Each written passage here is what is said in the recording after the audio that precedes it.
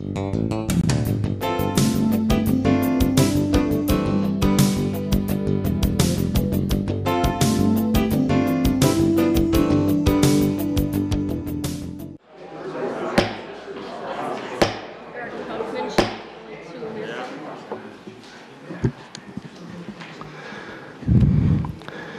evening. I'd like to call to order the Tuesday, April 10th, 2018 Sheboygan County Board of Supervisors. Certification of compliance with the open meeting law. The agenda was posted on the 6th of April at 2:30 PM. Thank you. Please join me in the Pledge of Allegiance. I pledge allegiance to the flag of the United States of America and to the republic for which it stands, one nation, under God, indivisible, with liberty and justice for all. Thank you.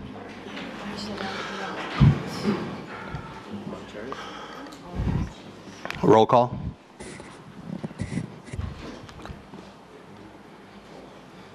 I can push through the calls until the Charlie's not going Push it and then they can connect after.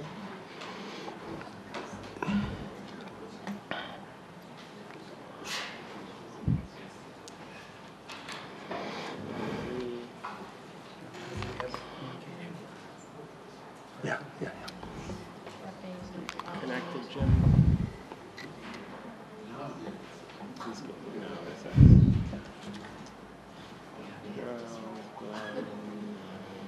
All right. There 23 supervisors present. Thank you. Approval of the March 20th, 2018 Journal.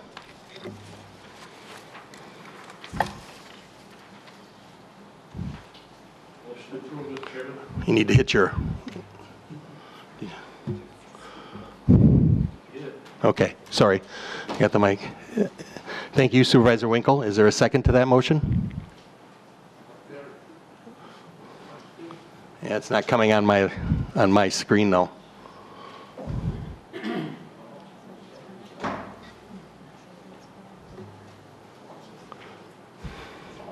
Uh, Jim Glavin. Okay. Supervisor Glavin. Second. Thank you. It's not coming up on my screen, Jim. I can't see. Thank you, Supervisor Glavin. Any discussion? All those in favor, say aye. Or vote.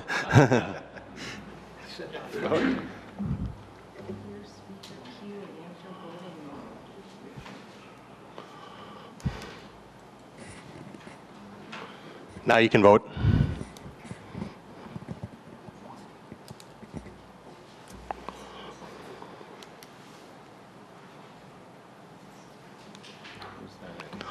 Everyone? That motion's approved unanimously.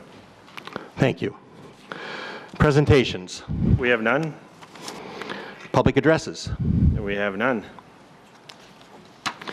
Letters, communications, and announcements. I have one. I have uh, a note for the county board from the family of Sue Prochek, thanking you for your kind expression of sympathy and support.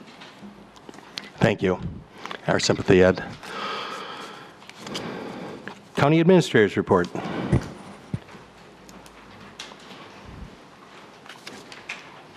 you, Mr. Chairman. Good evening. Good evening. I'm going to touch on four topics, a transportation complex update, farewell to three county board supervisors, resolution number 27, authorizing the finance committee department to balance our overhead departmental accounts, and ordinance number 12, amending county compensation program provisions.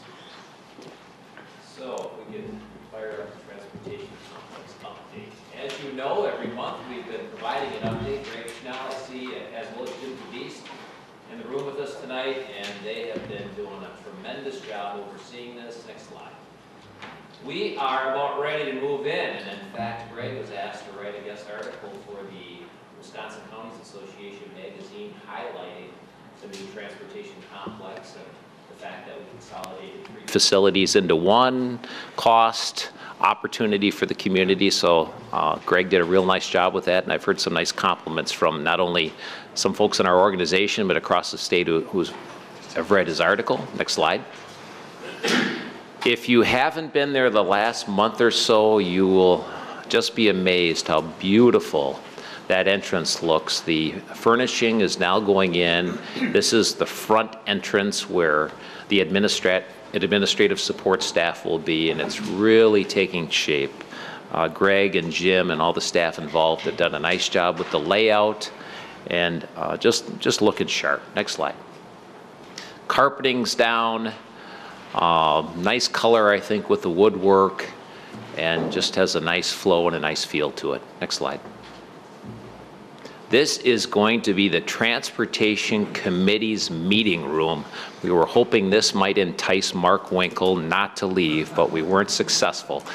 Uh, This is just a beautiful meeting area. I think the Transportation Committee and others are going to appreciate it. Next slide.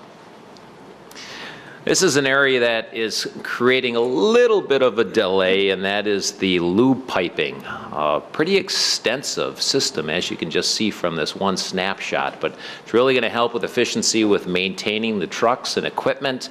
This was something that we learned when we went and looked at other transportation complexes in and out of the state. And uh, of course, Greg and Jim determined this would be a nice improvement, and I really think it's going to be. So they're still in the midst of making some enhancements here. Next slide. Uh, That's actually where the the lube will be stored. That's the lube piping room. Next slide. This is the mechanic shop, and as you can see, they, they have all of their equipment laid out as they're laying out all this piping and getting that all in order. Next slide.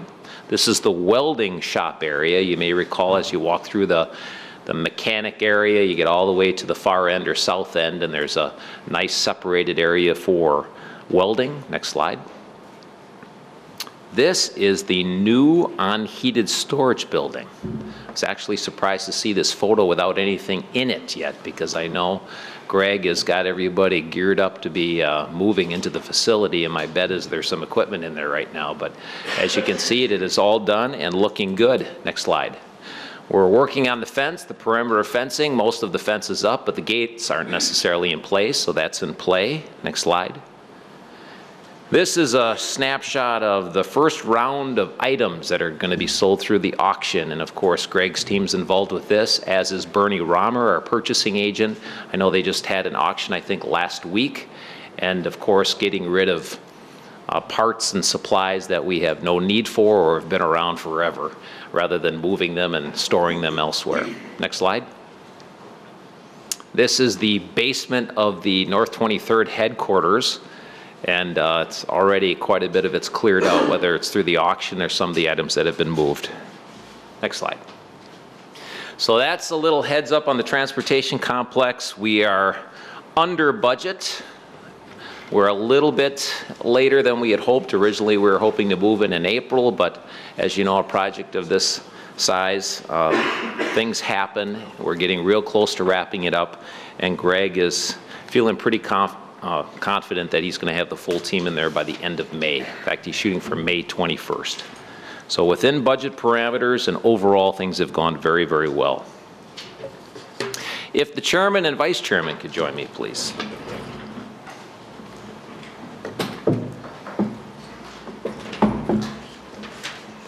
So every two years, we generally see a couple of new faces. Some people decide to retire and move on, or maybe defeated in an election. That didn't happen this year. We didn't have anyone defeated, but we do have three board members who have decided to move on after providing uh, service on the county board. And we're going to start with acknowledging our friend Supervisor Libby Oji. If she could come forward, please.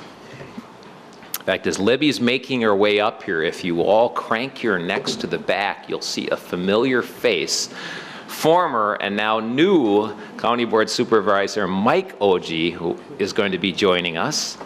And obviously, public service runs in the family. I think it was great that uh, Mike encouraged his daughter to run, and she was successful. And next to Mike is his wife Becky and their son Spencer. So we appreciate them joining us this evening. Supervisor Libby Oji was elected to the county board in 2014.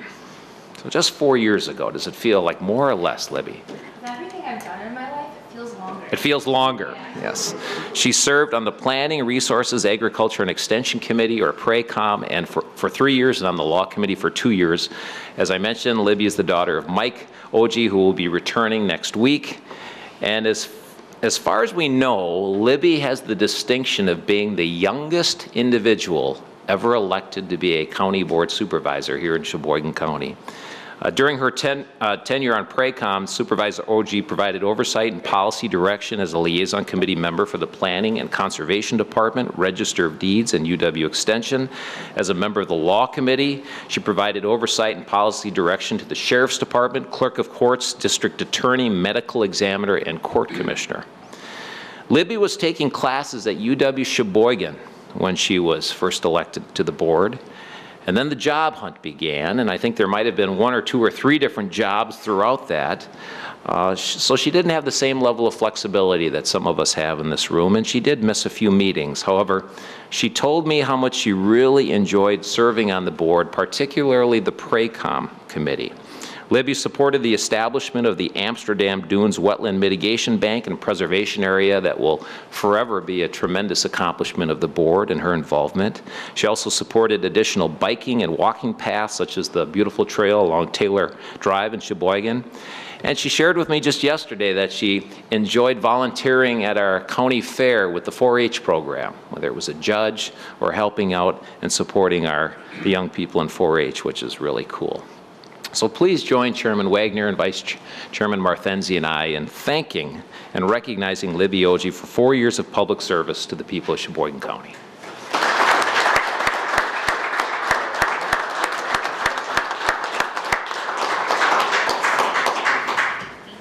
Thanks, Libby. Would Supervisor Fayer Rayner please come forward? And for the record, she asked me to keep this short and sweet, so I'm going to honor that.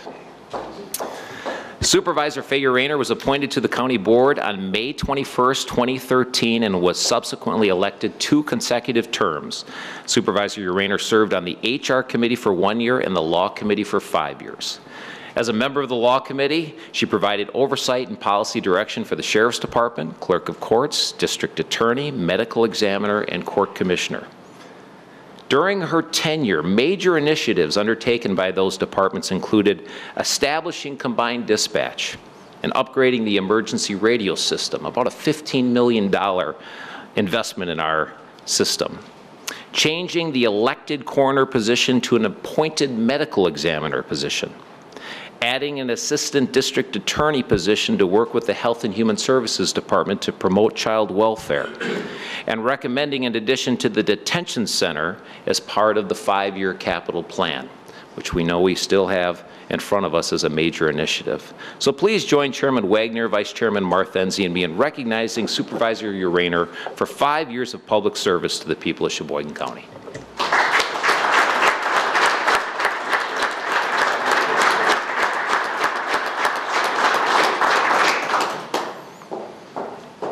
And would Supervisor Mark Winkle please come forward?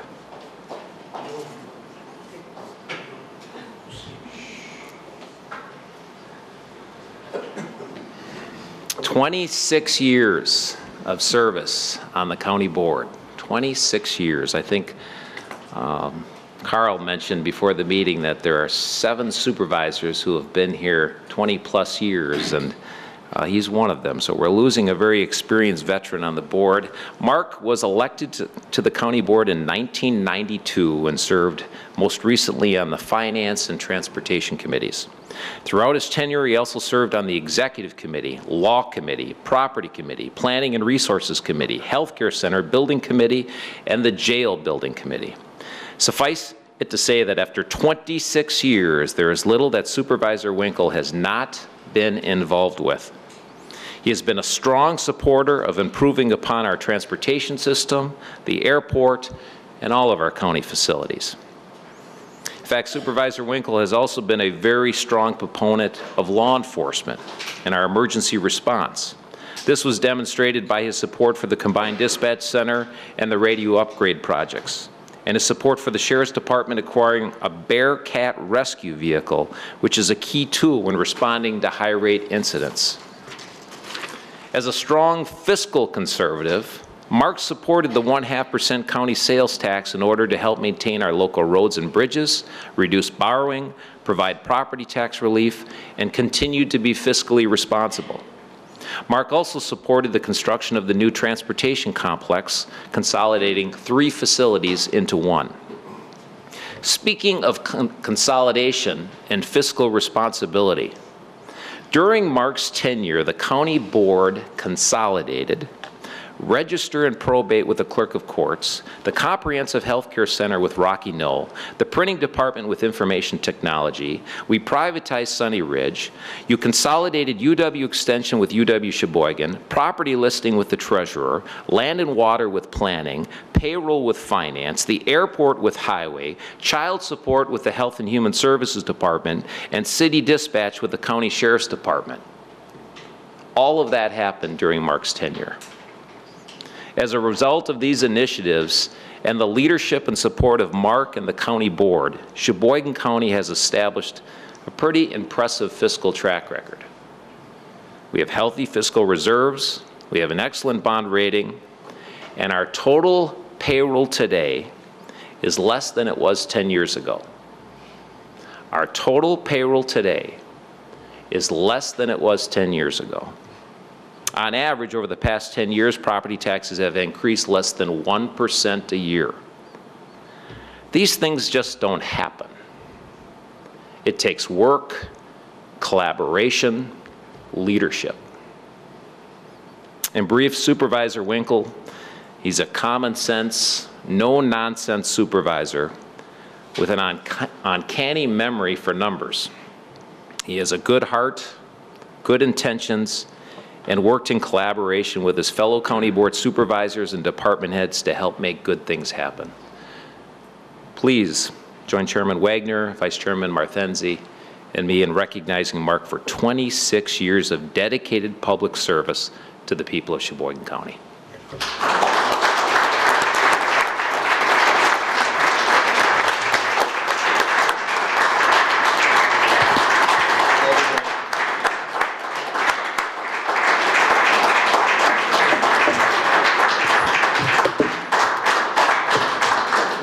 Payne, for those kind words. 26 years ago when I came here as a young man, tonight I'm leaving as an old man. And when I came here originally, I just had uh, one goal in mind, that was to restore respect to the third district seat. My predecessor was a snowbird. But in the 26 years I've been here, I've seen a lot of changes in the size and the scope of county government and the county board. And the changes that were brought about were brought about by this very august board. I didn't always agree with the changes, but I think, without exception, the changes we've made were for the better of our citizens. It's been a privilege and it's been an honor to serve the citizens of this county. I look forward to retiring, and uh, thank you, good night, and go Brewers.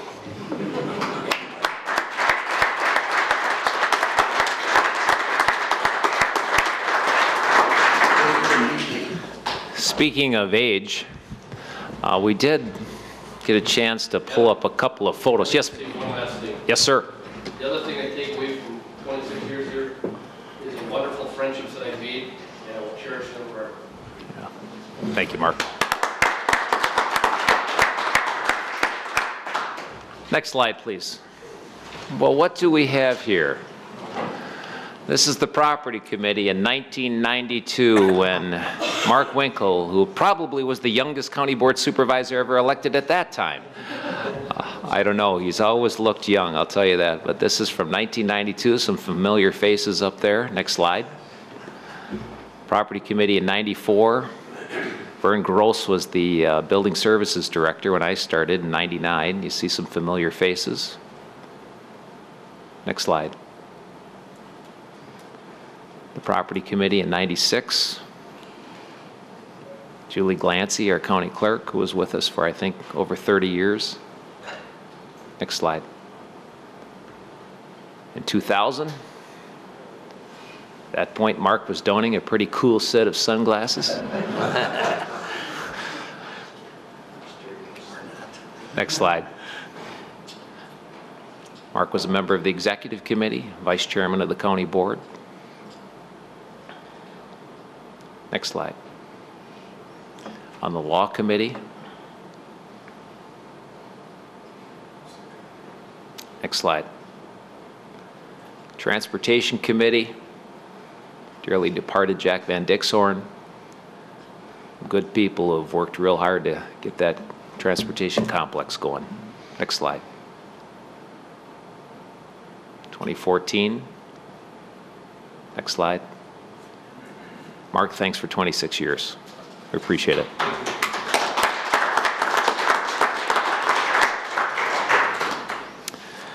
In your packets, two documents I wanted to quickly touch on.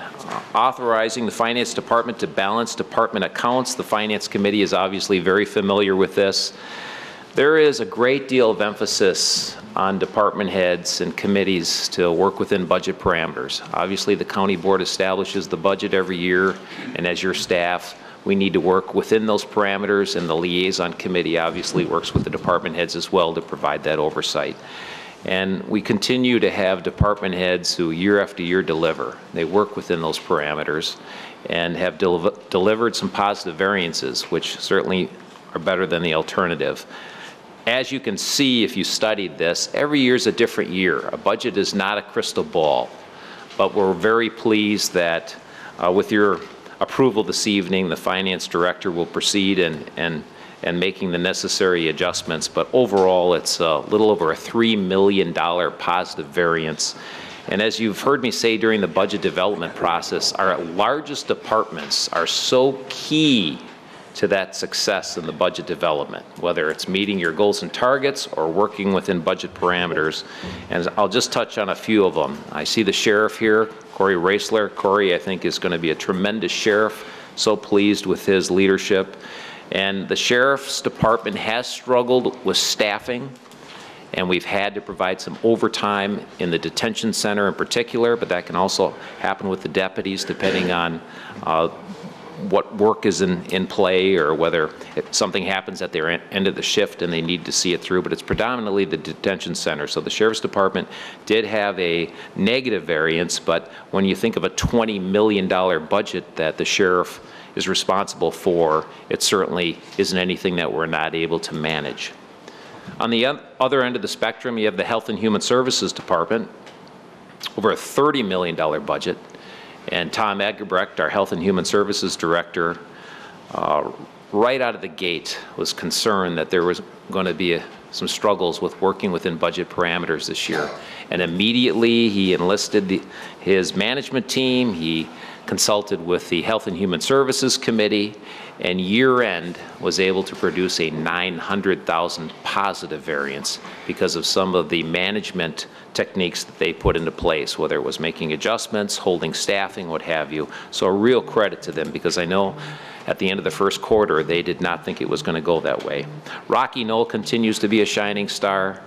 Uh, Kayla's doing a great job as our new administrator there, but good team in place, providing a very important service. And Rocky Knoll exceeded expectations and came in with a, a positive variance. And then the Highway Department, Greg and his team, they're stretched about as thin as anybody can be right now with all the additional road work they're doing and moving into a new transportation complex, everything involved. Local units of government are asking for more assistance than ever before, and Highway had a positive variance as well. So just wanted to point out that overall, we're looking very favorable. And then finally, I wanted to bring your attention to amending county compensation program. There's been a few steps along the way here, and I want to make sure everyone's on the same page. The ordinance essentially follows through on what we need to do as part of the budget process. You establish a budget, you build in so much of an increase for our employees, and there's tables in here that need to be updated to reflect those annual increases. And that's largely what it does. But as we were looking at this, there were a couple of practices between the HR department and committee that were in place, so working with Corp Counsel and really our internal cabinet committee, we made some refinements to um, make sure that it follows more the process that we're currently taking. And during that discussion, I looked at the elected officials area and saw a couple of things. One, we had two elected officials that were going to be on the ballot this year, so obviously this is your one window of opportunity to make any adjustment in their salary. That only happens every four years. And then secondly, as I looked at that, I thought to myself, as it stands right now, we would apply an across-the-board CPI increase for all of them, regardless of their roles, responsibilities, whether the department has added staff, reduced staff. We treat them all exactly the same, and the CPI increase would be static for four years. So I asked the HR department to look at what other counties are doing, and what we learned is that they're providing graduated increases, just as all other employees receive. And I also learned that many of our peers are paying or compensating these important officials more money than we are. Now, we can't evaluate the individuals in them because we don't know if Corey Roeseler is going to be the next sheriff after this election, or Melody Lorge is going to be the next clerk of courts. We don't know. What we do know is we're very fortunate to have a sheriff with 26 years of experience in the department and a clerk of courts with, I think, 30 years of experience in the department who are really, really good. So I personally hope they're going to be successful in their reelection. But we didn't look at their individual performance as we do for all other employees. But we did look at the roles and responsibilities of the department. And both have taken on more. So then we looked and compared other counties. And I want to draw your attention to a summary sheet that's in your document that is entitled County Administrator and Human Resources Director Recommendation based on provisions of Chapter 47. Because again, there's been a couple of steps in play. So by ordinance, this is the county board's opportunity to adjust these salaries. It needs to happen tonight by ordinance, and it's locked in for four years. Had we followed the status quo, we'd be looking at the top box. We would have applied a CPI increase, and they would have been frozen in the same amount for four years.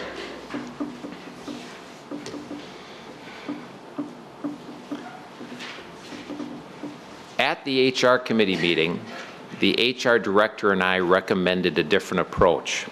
After comparing and contrasting the wages that these department heads are receiving in comparison to their peers, after thinking about just fairness and the fact that if we want to treat them as much as we can like all of our other employees, we're not giving all of our employees a static CPI increase. That's being considered as part of the, the equation as part of the budget development process. But if you look at the bottom on that sheet, there's quite a difference between a CPI increase and the budgeted average increase that the county board applied each year. So we applied that in our recommendation.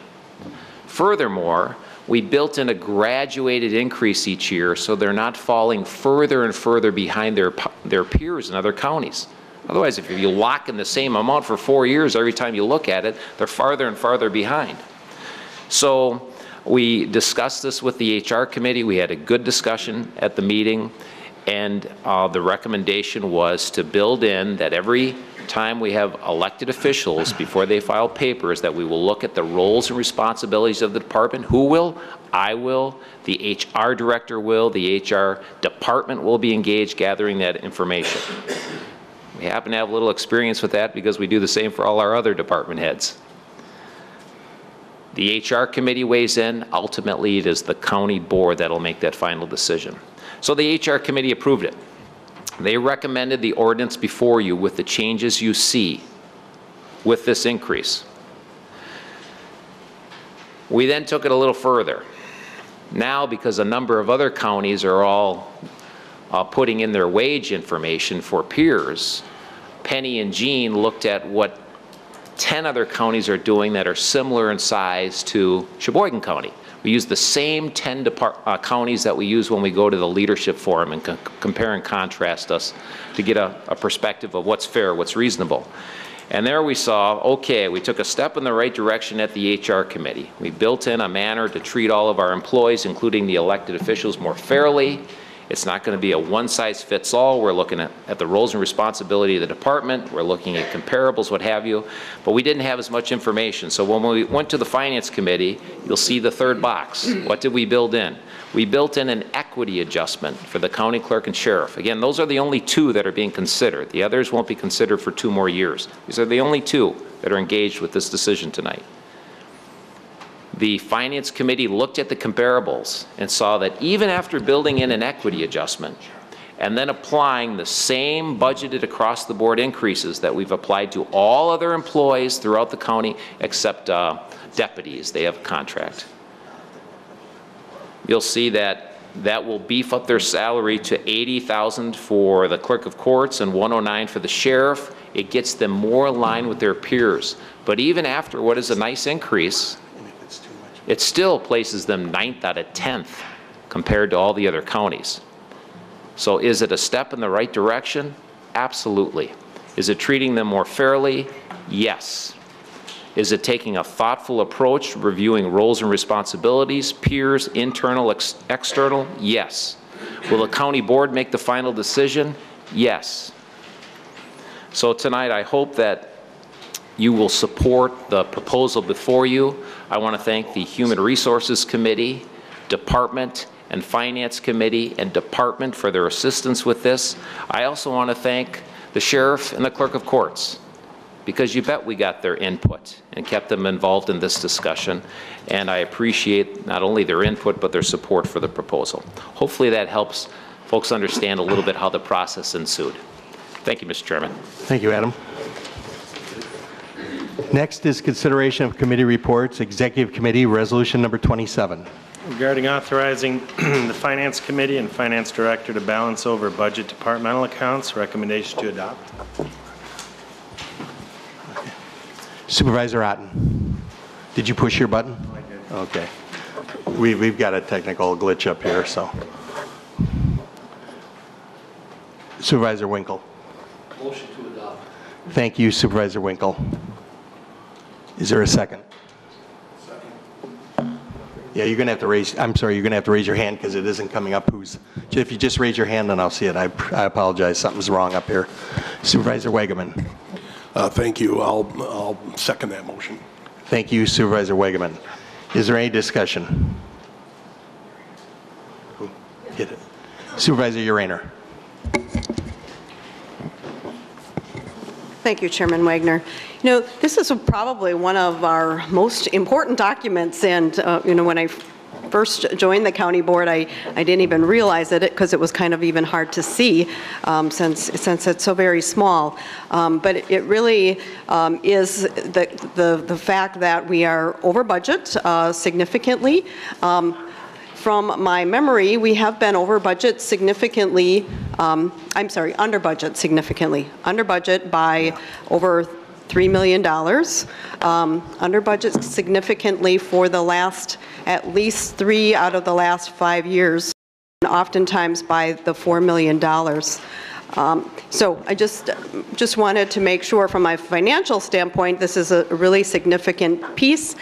And I did ask the question relating to sales tax because we, we ended up getting an extra $2.6 million when you consider all 12 months of uh, sales tax, and that piece is not included in, in this overage. So that, because that is going to the uh, capital, uh, it is going to the capital,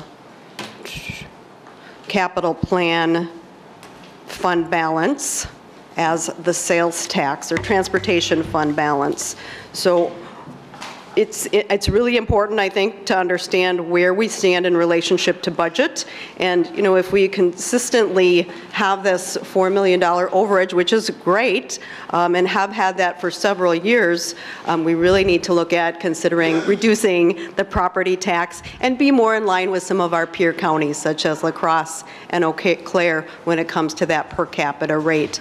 Right now, we are really standing in more in the average range. So we have some good metrics to do in order to make those changes.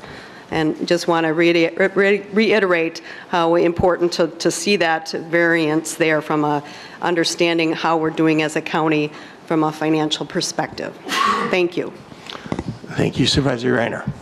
Is there any other discussion or questions?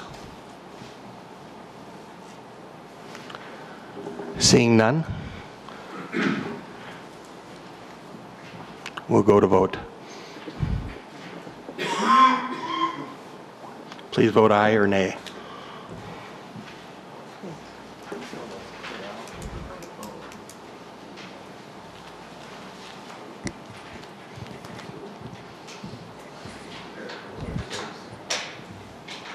Motion's approved unanimously. Thank you. Consideration of committee reports, Finance Committee Resolution Number 28. Regarding authorizing Human Resources Committee to enter enter into labor contract with Sheboygan County Law Enforcement Employees Association. Recommendation to adopt. Supervisor Winkle. Motion to adopt. Thank you Supervisor Winkle.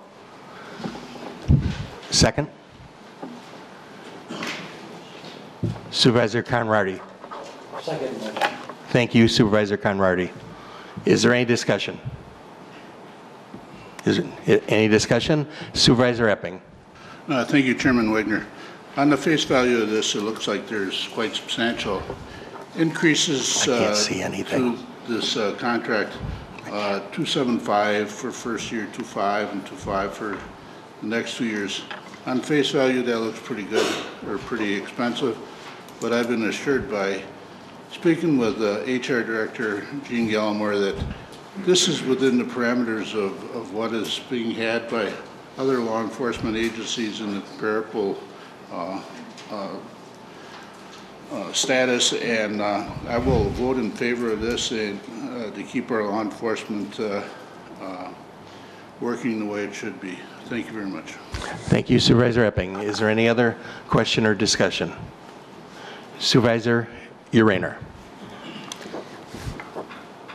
I will also approve this, but I just wanted to point out, um, I've asked the question a few times, how do our metrics compare to other counties when it co- comes to our cost, the fiscal responsibility part?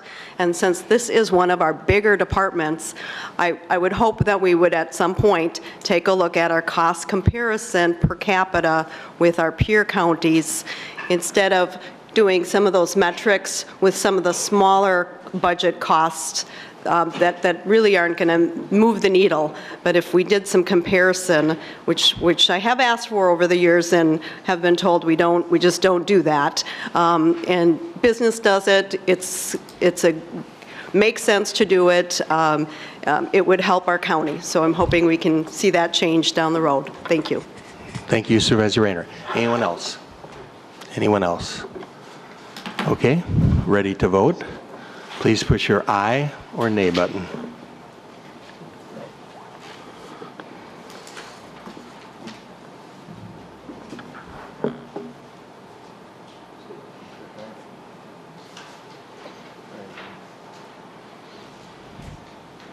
That motion is approved unanimously. Thank you. Resolution number 29. Regarding authorizing Planning and Conservation Department to apply for tree planting gra- grant. Recommendation to adopt. Supervisor Gehring.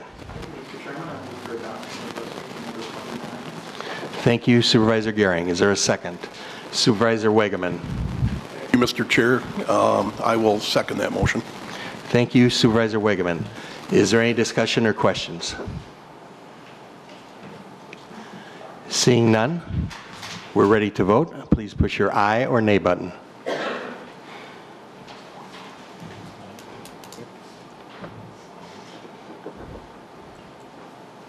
Motion's also approved unanimously. Thank you. Resolution number 12. Regarding amending county compensation program revisions, committee recommendation to amend per committee report and enact as amended. Supervisor Winkle. Motion to enact. Thank you Supervisor Winkle. Is there a second? Supervisor Epping. Uh, Thank you, Mr. Chairman Wagner. I'd like to second that motion. Thank you Supervisor Epping. Are there any questions or discussion? Supervisor Glavin. On uh, page seven of this, uh, it crosses out the county clerk and the human resources director from calculating the anticipated salaries. Why is that necessary? Why is that crossed out? Yeah. Okay, I didn't hear you. Thank you. Somebody like to respond to that? I-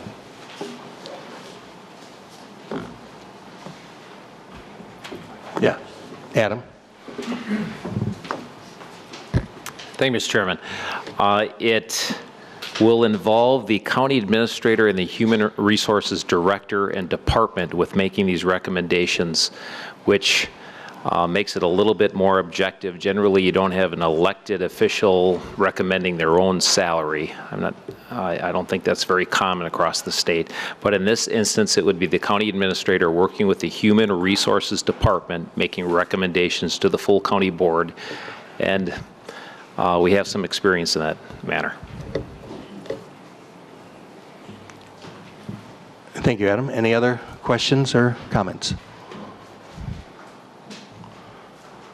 Supervisor Urainer. And a a similar question on line um, 104 and 105 on page four. Um, The county board is crossed out for approval, and it- it- and the um, county administrator is is added in. Um, What would be the purpose of that change? Carl, do you have that one? Guess I would defer to Jean. That was uh, one of her initiatives. Jean, you want to come up here with a mic?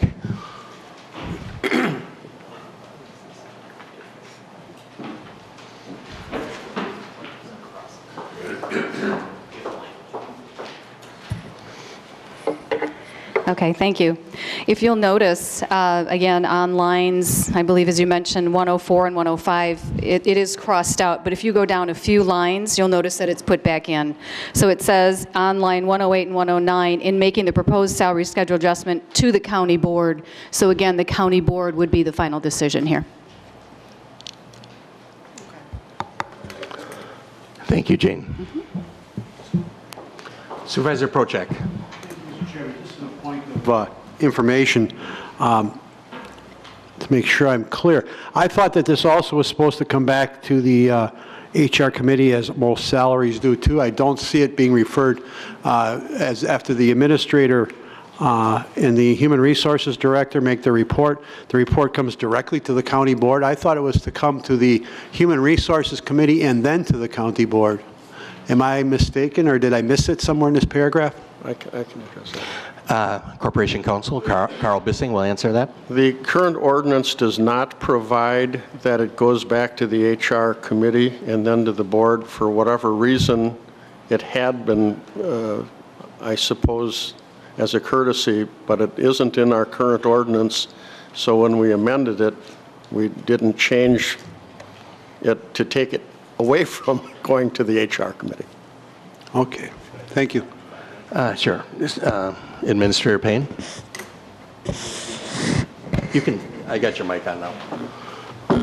As was mentioned, it wasn't in the last one, so it wasn't something we removed, but it's fully our expectation to continue to work with the Human Resources Committee and the Finance Committee before we come to the full county board. We'd be foolish not to. Thank you. Thank you for that clarification, everybody. Thank you, Supervisor Procheck. Any other questions or discussion? Okay, if not, we would be, oh, okay, Supervisor Urainer. Uh, Okay, th- th- this might be a long shot, but I, I realize that the way this is worded, it's going to come to the county board in the budget. And um, so from my understanding, then it's just there, we won't really see percentages, we, it's kind of buried in that budget. I- Is, is that correct? It's, it's not like we're going to see a sheet that says this is the, uh, the information. It's just kind of buried in the, in this huge budget without really a clear layout of that information, if I'm understanding this correctly. Okay, no, that's fine. Adam? Thank you, Mr. Chairman. Uh, We certainly will not be bearing any wage or benefit increases. In fact, that's probably the strongest driver of our costs every year if we're going to apply a CPI increase or a 2% increase. So the approach we take is working with the Human Resources Committee, the Finance Committee, and the Executive Committee. We establish budget assumptions, and wages and benefits are always identified right up front. Then at the Leadership Forum, as you know, we focus on those wage and benefit increases as well.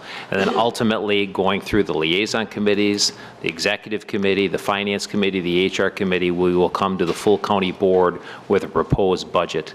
And uh, nothing will be buried, I assure you. It's, it's always front and center because that's one of the key costs that we struggle grappling with each year, when, when you have one-size-fits-all, net new construction increases or caps, even to apply a, a CPI increase or 2% increase, or in this case with the law enforcement officers, a 2.5% increase, it's always a challenge, but we obviously want to maintain good people. Hang on a second. Get your mic on. Go ahead. Okay. As a follow-up, will it be a separate document similar to what we're seeing now? Will it be a separate um, document, and and perhaps we can lay that out in this, uh, in this resolution, that we will be, the board will be getting a separate uh, document, uh, a separate, uh, I guess this, uh, or an ordinance, uh, so that, so that it is very clear uh, what, what the wage changes are. I thi- I think uh, Well, I'll just quickly. Attorney Bissing will respond. Uh, Let me just say this, Carl. Every department's budget that the liaison committees ultimately approve and forward on to the finance committee have wage and benefits as a line item. So that's all in every single department's budget, right there, right up front, crystal clear.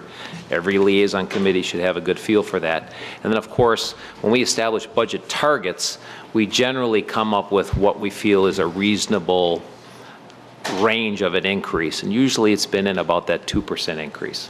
I'm, I'm sorry, thank you. Thank you. Carl, did you want to add something? If you're talking about the grid for salary ranges at section 4703, is that what you're talking about? Yes, it appears that. We, that the board will not be getting this grid. It will just be kind of buried in that budget, The, which, the, the board hasn't gotten an updated grid since you enacted this ordinance. On an annual basis, it has been updated and maintained by the HR department. okay. Uh, And then whenever we do update Chapter 47, we capture the most current grid that's uh, prepared by the, by the uh, department. So that's not a departure from anything that we're already doing. Supervisor Epping. Thank you, Chairman Wagner. Um, Unless I'm mistaken, I'm seeing the county administrator placed into this uh, uh, um, doing, doing these uh, proposed uh, salaries and stuff like that in association with the um, human resources. Um, I have full confidence in the county administrator, full confidence in human resources, but I kind of wonder whether we're just hearing, we're going to hear one voice instead of a multitude of voices uh, like we would hear from other committees that, that are involved in this. Because, you know, according to the, to the way things are setting, um, human resources they're answerable to the county, county administrator all the time anyhow. Now, is there going to be un- undue influence there? And I'm not saying that there's going to be, I'm just saying that's one of my concerns in seeing, seeing this uh, uh, language change along, uh, put in also with this uh, uh, monetary change. So can, can there be uh, uh, a response of some sort for for my concerns in that se- uh, basis? Thank you. Are you referring to the uh, section on elected officials, or are you referring to the language about setting the budget? I'm talking about the language that puts the county administrator and the human resources in at set- setting the amounts. Well, If if you're talking about the portion that is in 4703-1 with the across-the-board pay ranges, uh, the county board is the ultimate determiner of that. And it doesn't really matter from my perspective whether the HR department is stated alone or in concert with the county administrator, except for the fact that the county administrator is an essential part of creating the overall county budget needs to be incorporated into the uh, uh, financing of the pay raises or or pay ranges. Supervisor Con- Conrad, uh, Tom, did you have something you wanted to say? I- I'll pass. Okay. Supervisor Conrady. Uh, Thank you, Mr. Chairman. All I want to say is that being on the HR committee, that there's no way it'll get to the county board without our recommendation, period. That's the way it's going to be. Because whether you try to sneak it by me or not, if I hear it one way or the other, it's not going to happen, you know. So definitely, we're going to have our input on it, and if we don't like it, you'll know it, and if we like it, you'll know that also. Thank you. I hear you, Charlie. Thank you, Supervisor Conrady. Any other questions or discussion? I think you've had your three, maybe four, uh, Supervisor. Um, Is an amendment line then? Yes. Okay, Supervisor Rayner, Okay. amendment, for amendment? Thank you, Chairman, for uh, allowing me to make that, am- make the amendment then. Um, So I agree with um, Supervisor um, Epping uh, on line 2, 290, page 7, and 290 through 293. Um, I'm- I'm, my amendment is to make the change to keep, to keep that portion of the, um, the ordinance the same as it has been in the past. Cheryl, you clear on that? Do you have, Carl? So you are restoring the strikeouts and eliminating the proposed new language? Up to, up to, okay. And leaving, leaving in to prepare a report for the board, which is lines 20, 295. So the process is still the same. It's just that who is making, I, I really believe, as Tom does, that having a constitutional officer, an employee, rather than two employees making the pay decisions, is more accountable to the taxpayer. So the, the process being the same, it's just the who, who is making that decision um, to change back to the way it was in the past. Constitutional officer and an employee. And this is where I've got the dilemma, because under the current ordinance, the HR director and the county clerk do nothing more than autopilot the retroactive pay increases. Right. The proposed language in the new ordinance has the HR director and the administrator do an evaluative process on factors other than the autopilot that the county clerk. So are you asking that we continue the autopilot process with the county clerk and the county, uh, and the uh, HR director? No. So So not continuing the auto, pro- having all the same process, it's just that we have the constitutional officer and the human resource di- uh, director um, make those changes. Just so we have that, the balance of powers there. So the constitutional officer will be part of the process of making recommendations on constitutional officers' salaries. As the process is laid out, you know, with, the with the process we have in place, yes. Which is a pretty, which should be a pretty cut and dried process. Okay? So Now I'm there? confused again. Do you, do you want the county clerk and the HR director to do what they're doing now and what they did last year and two years ago? Or, or do you want the county clerk and the HR director to do a new process utilizing the uh, position evaluations, comparable salaries, comparable salaries of non-elected department heads and other county staff. Yes. All right. I understand the the amendment. Okay. Is it, is there a second to that amendment? Is there a second to that amendment? Super, I'm sorry, I'm Supervisor Glavin? I'll second it. Thank you Supervisor Glavin. Is this debatable, Carl? Yes. Okay. Uh, Supervisor, uh, excuse me, Vice Chairman Martenzi wanted to speak. Thank you, Mr. Chairman. I have some good news and some bad news, and it's both the same. Uh, This ordinance won't impact at all the sheriff's salary or the county clerk's salary because if we pass it tonight, it won't get published until after the date for circulating nomination papers. I've already talked to Supervisor Procheck, who I assume is going to be on the HR committee again, and I talked to Supervisor Ott, and I think I talked to some other supervisors here about working on this process so we're not down to the last possible day to vote so these people get a raise. They have four days to go before they have to circulate nomination papers. If we don't pass the report at the end of our agenda today, they won't get a raise. They'll get paid the same thing the next four years they got paid the last four years. That's eight years without a raise. As far as this process goes, this ordinance will take effect once published, which will be after the date to circulate nomination papers.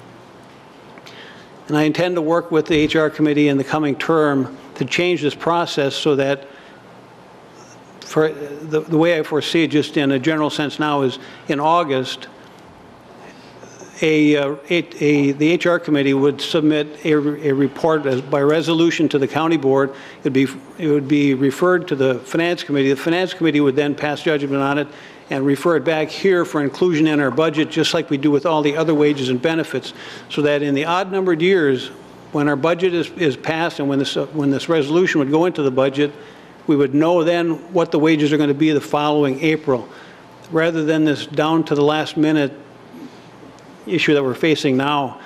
And the way we got to this is the federal government moved up the primaries from September to August. And apparently, we didn't take note of the fact that the date to circulate nomination papers also moved up a month. And that's how we got to the situation we're in right now. So no matter what you do on this, on this, um, this uh, ordinance, it will not impact the sheriff and the, and the clerk of the circuit court. It'll be in effect after it's published, which will be after the, the date to circulate nomination papers. So the wages of the, of the sheriff and clerk of courts will be established by the old method that's currently in our, in our ordinances. I think I'm correct on that. You can correct me if I'm wrong. Supervisor, or Corporation Counsel. Uh, The ordinance before this board will not be published until after nomination papers can be taken out. The state statute requires that the salaries for the elected officials be established by the county board before the uh, nomination papers can start to circulate. So therefore, as Supervisor Marthenzi stated, uh, this ordinance will not be in effect with respect to the salaries for the uh, elected officials. However, the old ordinance, the language that is stricken out here, is still in place because the new ordinance doesn't uh, supersede the old ordinance until it's published. The mechanism at the end of this agenda is the mechanism for setting the salary for these two elected officials uh, moving forward. The bottom line under any circumstances is that the county board sets the salary. The county board sets the salary utilizing recommendations or not utilizing recommendations. It's the call of the county board. So at the end of the report, you will see that, uh, the- at the end of the agenda, you will see that the recommendations that the uh, HR director and administrator uh, would have made had this ordinance been adopted without amendment are there for your consideration. So we need to address this by the end of this meeting, but it can also be revisited, as Supervisor Marthenzi said, with an amendment uh, when we're not under the gun. Supervisor Epping. Thank you, Chairman Wagner. Um, I'm really trying to follow this, and I really want the county clerk and the sheriff to get the, the setup and wages like is, that is proposed. I'm just wondering why we need to change the apparatus for doing this, if I, if I use the uh, terminology correct, why we got to change the apparatus for, for making these uh, um, changes, why, why do we got to change it? You, you yourself said that it, it would be the same as, as what has happened the past three years, and now we're going to change it to so- something different and have the same result. Why the change? Well, y- y- the result you received... Am I reading this wrong? Well, I think you're thinking it through from a wrong perspective. The bottom line is that the county board makes the decision. The county board can make decisions based on the best information that's provided. In the ordinance as currently set forth, the county board is given one recommendation, and it's not really a recommendation. All it is, is uh, a calculation of what pay raises have been across the board for the previous four years for those uh, two offices.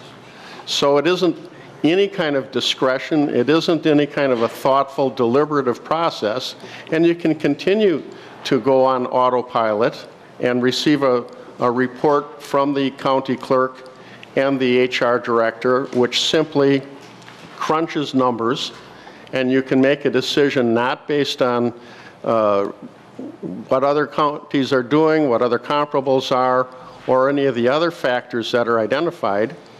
You can continue to do that, or under any circumstances, you can do whatever you want because the ultimate decision is made by the county board. But if the county board wants to do it based on some factors that are other than rote responsiveness to calculations, this is a methodology that gets you there. Go ahead, Supervisor Epping. So, in other words, the county board, I understand the county board makes a final decision, but now we're going to change, change it, we're, we're going to make the decision based on information we, we receive from HR and from the county administrator versus HR and the county clerk. Right, but you're getting different buckets of information because the, under the current ordinance, the county clerk and the HR director just look at our budgets for the last four years and calculate what the retroactive pay ranges were for the last four years and puts a number out there. The new proposal is that you get a, a recommendation and an evaluation made based on comparables, based on uh, changes within the office as to uh, duties and responsibilities, and comparables not only to other counties, but also within the county to other department heads. So it's a different metric, and by two different people, but it's a different metric, and that's what you're looking for, the best information to the county board. If I could ask one more follow-up question. Aren't those same metrics that, that the HR give us under one circumstances, could- most probably are going to be the same metrics that they're going to give on, in the second situation? No, they're completely different. Thank you. Okay, Supervisor Epping. Uh, Supervisor Wegeman. Uh, Thank you, Mr. Chair. Um, I'm going to suggest that we um, vote against this um, amendment. Um, I I- I think it's pretty foolish. We've hired the county administrator to guide us, to help us, to set the budget, to oversee the budget, and his skill sets allow him to evaluate personnel and positions and roles and responsibilities. It is not within the county clerk's um, skill set to do that. So we'd be asking, you know, if they were going to use a formula, that's one thing. But what we're talking about is a different approach here. And, uh, and I think our county administrator has those skill sets, and that's what we've hired him for. So, thank you. Thank you, Supervisor Wegeman. Wegeman, I'm sorry. Um, Mr. Dolson, did you want to speak? Supervisor Bemis, you're on. I just have kind of a question. I think if we're all kind of worried about the authority that the county board has, I don't know, maybe I'm wrong, but I don't think the county board can fire the clerk but I think we can fire the administrator. Am I right or wrong? I believe that is correct. Anybody else? John? I will still uh, vote against the amendment. Okay, thank you. You want to speak on the amendment, John? Question for Corp Counsel. Thank you, Tom. Can uh, the board vote for Supervisor Uraner's amendment and still vote to accept the salaries that were presented based on the county administrators and HR directors' numbers?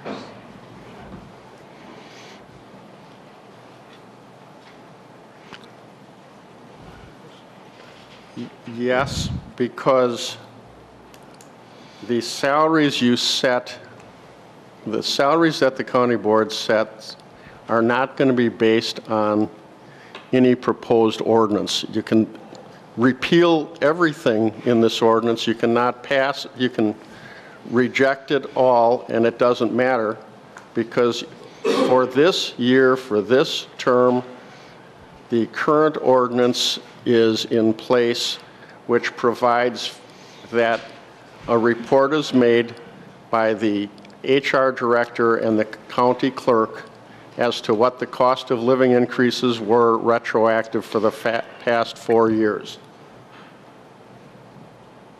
But the bottom line is that the county board makes the determination as to the salary increases, if any. Thank you, Carl. Is there any other discussion on the amendment? Cheryl, do you need some?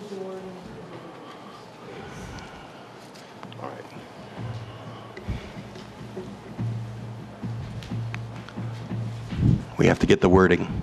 I'll have to cut and paste here. Doot, doot, no.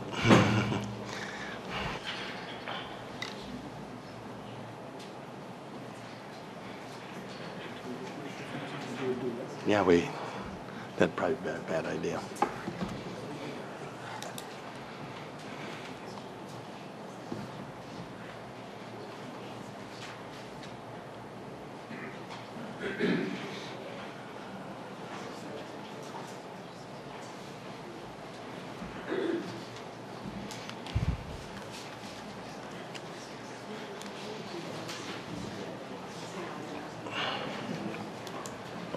Right, Cheryl, this uh, Supervisor Uraner, could you, Supervisor Uraner, Supervisor Uraner, I'd like to restate your amendment, and I hope I am capturing what your intent is. So I'm going to read it as follows. I believe the amendment would read, Section 5 would read, "The county clerk and the Human Resources Director shall calculate the anticipated salaries and benefits of the elected officials and shall prepare a report to the board setting forth recommended salaries for the elected positions. They shall evaluate the positions and shall consider the comparable salaries for similar positions in other counties, the comparable salaries of non-elected department heads and other county staff, the changing duties or responsibilities of the department, the salary history for the position, the consumer price index U for each year as determined by the Wisconsin Employment Relations Commission pursuant to statute, and such other information as they deem pertinent, they shall report the recommended salaries and benefits to the county board. Is that, all right? Okay, we have an amendment now?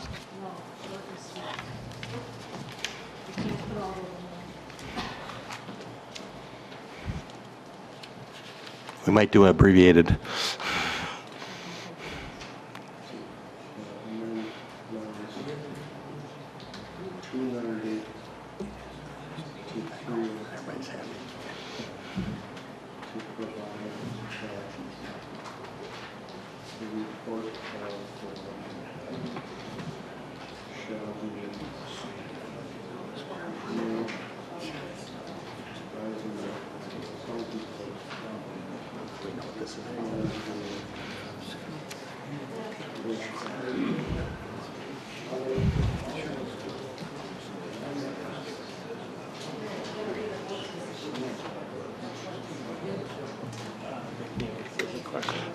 Supervisor Bemis. I, I was just kind of wondering, I mean, we're amending something we haven't had a motion on. Is that legal? There was a motion, Dick. It was so long ago that, uh, I- yeah, there was a motion. It was- It was moved and seconded by Winkle and Epping. The amendment Okay. uh, was Uraner and Glavin. Understand your question, though, Dick. Sorry. Yep, no problem. Okay, the amendment is on the screen now, so we're voting on the amendment. Yes for the amendment, no against the amendment.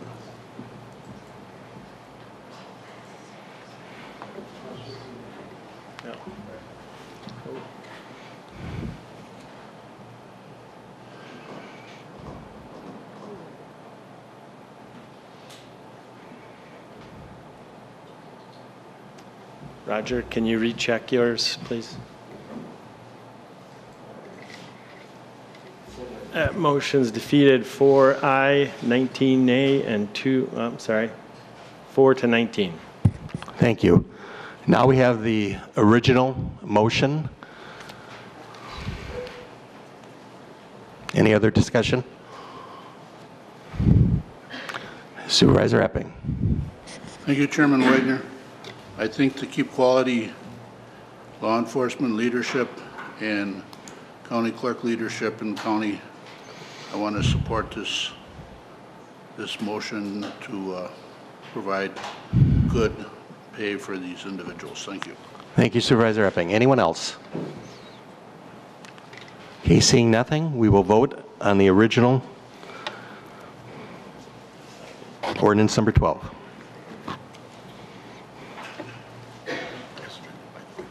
As amended by the committee.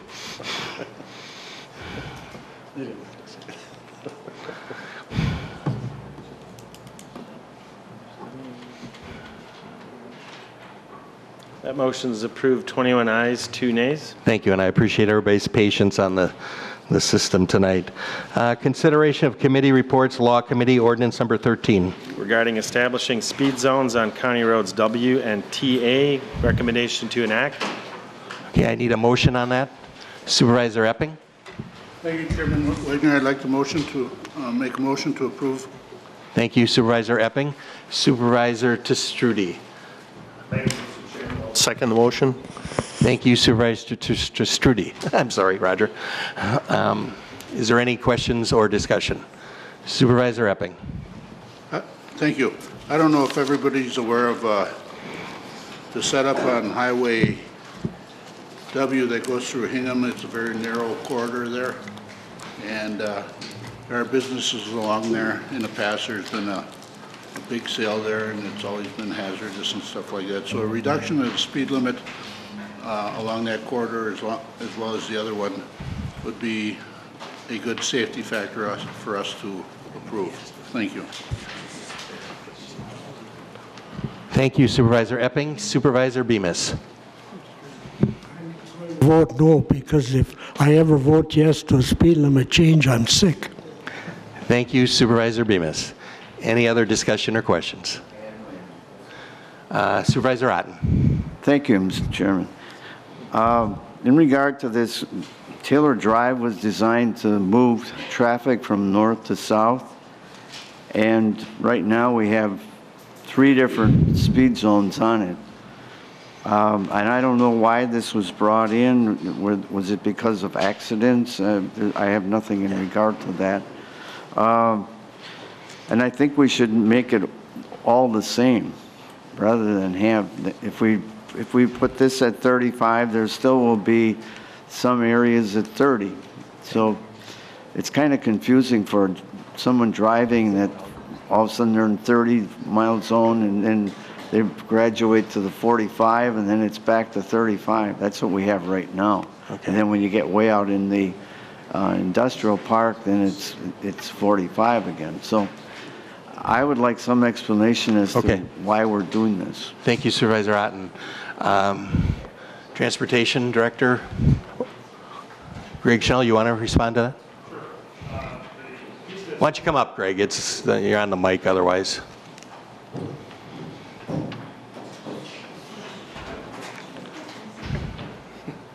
After you get by the sheriff.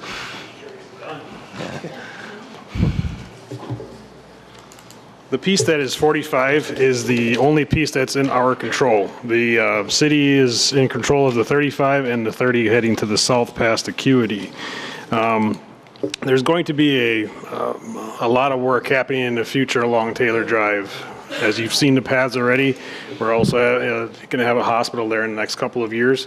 Um, this request has been uh, talked about from the Lutheran High School with, with people trying to get in and out of the access uh, to the UW. It's, it's very difficult as the um, people are coming down the hill.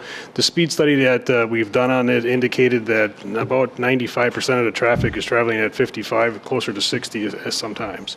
So we're trying to control that speed by lowering the speed limit, making it somewhat consistent. I'm working with Aaron Brault as well as far as um, improving the intersection at Indiana, which is going to introduce a little bit more pedestrian and bike traffic, so that, that is going to be uh, another issue as, as we move forward. Supervisor Otten. Um, Have we talked with the city at all about making this the same? The city, the city was one that came in and re- had- and requested the 35 as well. They, they've been having some issues. I've talked to Ryan Sasma, one of the guys that works in their Public Works Department. He came to one of the transportation committees uh, as well and spoke to it to try to get the 35 as well. Okay. Well, the design of Taylor, Taylor was, as I said, was to move traffic, and, and it has done that. It's done very well. Um, and I realize that probably the 45 is, is high, but I, I would like to see it all the same, all the way from north to south. I can speak with the city as far as the piece past Acuity. I, I- I don't know how they would handle that where that's 35, uh, 30 miles an hour. Uh, The other piece is 35 that comes from 23. Thank you. Thank you Supervisor Otten, and thank you, Greg. Unless there's any other questions for Greg? Supervisor Wegeman. Maybe we should make our, our lowering the speed limit conditional on the city raising theirs and split the difference. Thank you Supervisor Wegeman. Anything else? Okay, if not, we have a motion and a second out there to vote.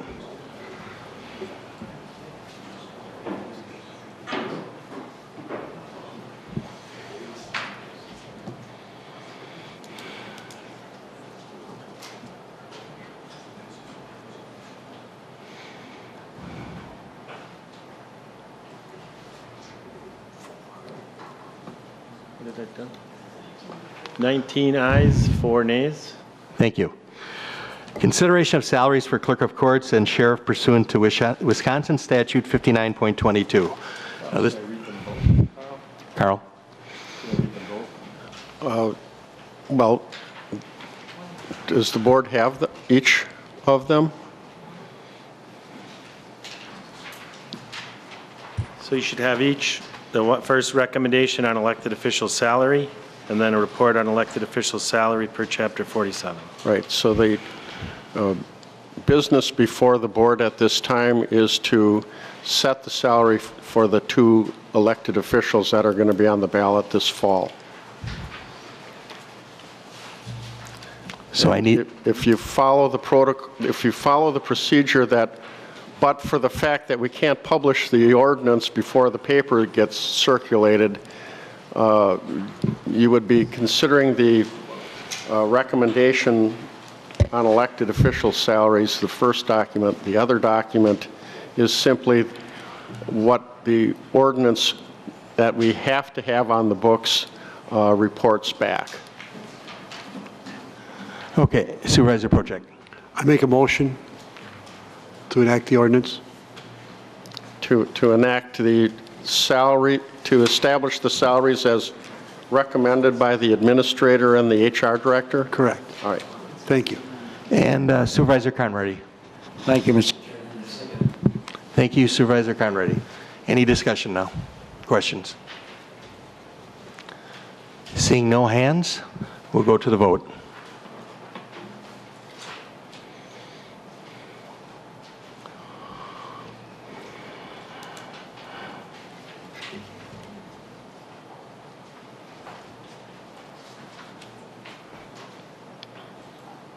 That motion's approved unanimously.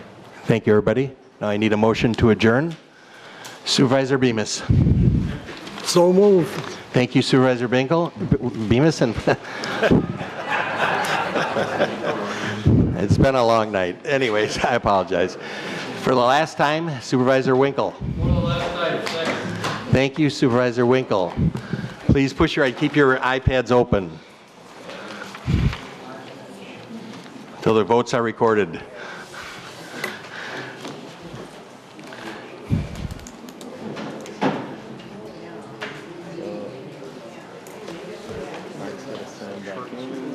Yes. Is it working, Roger? They were tired by then. Working out?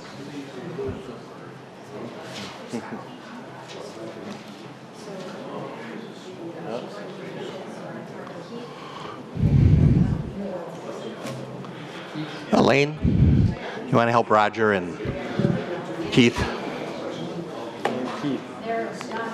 Done. We got it. We are adjourned. Thank you, everybody.